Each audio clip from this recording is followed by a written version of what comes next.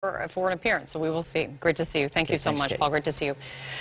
Emotionally withdrawn, moody, gaining weight. That's not just someone commenting about me on Twitter. That is how a source close to President Trump is describing the president today. The stunning new report ahead.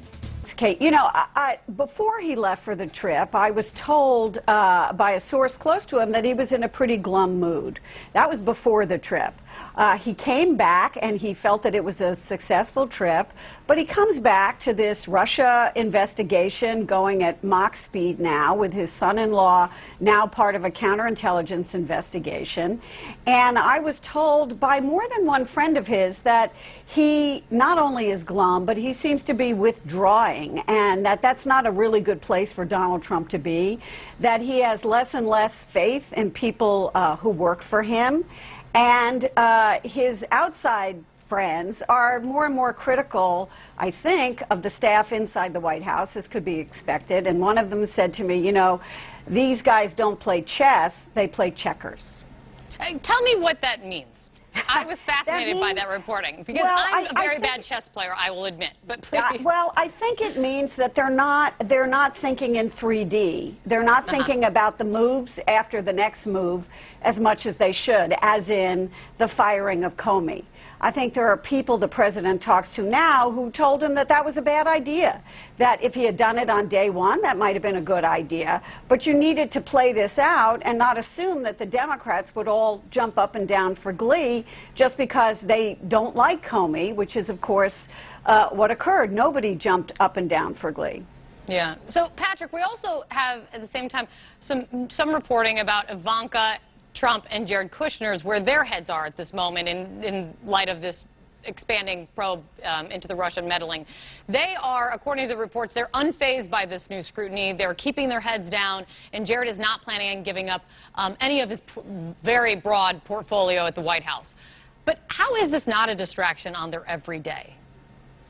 Uh, It's very hard, Kate, but this is sort of a classic Washington, uh, you know, insider strategy, which is sort of hunker down and assume that in, you know, today's news cycle or the next news cycle or by Thursday, something else is going to come up, someone else is going to be in the spotlight, in the crosshairs, and that the, from their point of view, the media will move on, that voters are just hear a lot of noise and don't see anything specific. They, a lot of people don't even really know who, who Jared Kushner is, or they think Ivanka is this very nice person from her speech at the Re- Republican convention over the summer.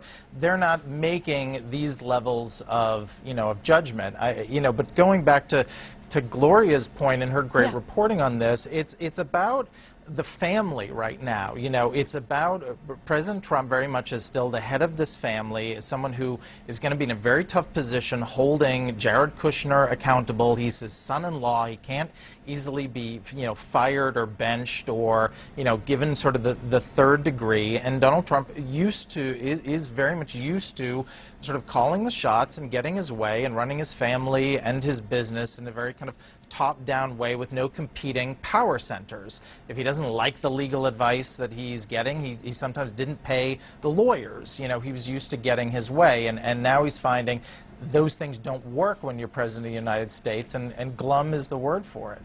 And Gloria, the search for, as we mentioned, as you talked about, fired FBI Director James Comey, the search still continues for the next FBI director. And you are hearing um, some fascinating stuff about Chris Christie and where he landed Right. or possibly Right. is landing well, on, in this. It, it, it, the president did not offer Chris Christie the job. I think they are uh, still friends. And I was told by one source that in a conversation, the president sort of politely, in an offhand way, uh, made a uh, what I would call a non-offer, which is you don't really want this, right? And of course, Christie, I'm told by a source uh, that, you know, he said, Of course I don't. It would be a hassle for you. It would be a hassle for me. Now let's move on. And uh, I think another interesting point here is that really there was no thinking, or there, the president thought that maybe Joe Lieberman would be well received by Democrats. And of course, You that wasn't wrong. the case. Joe Lieberman was not well received by Democrats. And so they got themselves into another problem. So they were on the precipice of offering this to Lieberman. And then right before the trip, they had to pull it back. And now they have to pull something else out of their hat to get someone to run the FBI. So with Jared now so much more in the spotlight, Patrick, um, do you think there's any pressure for him to speak out? I mean, he is, I would call him the most visible yet most silent figure in this White House.